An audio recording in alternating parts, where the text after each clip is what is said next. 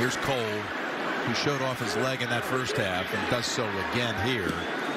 As it bounces right about at the 18. Oh, we got a little fight breaking out here. Is he going to throw that flag? They will eventually. it's like this has got to go about five from up. Here comes. Back away. He's going to throw it right here, Jim. He's going to back away. Here. Is he going to throw that flag right there? Turn around. Still can't get him to settle down. It's Roderic Teamer, by the way, 33 of the Raiders.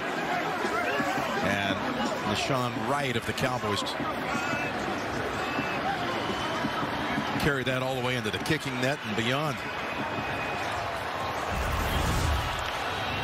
Here, here's where it started. See Joseph and Teamer going at it.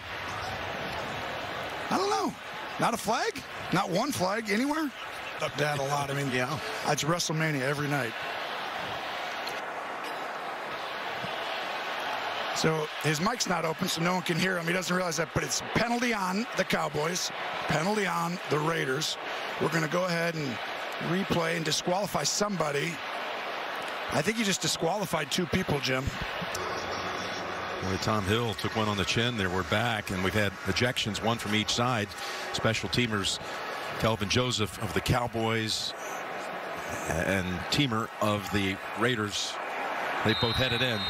Here the guys leaving Gene's territory. When you down on the field, it's easy to sort out something like that because you had so many people that were tangled up.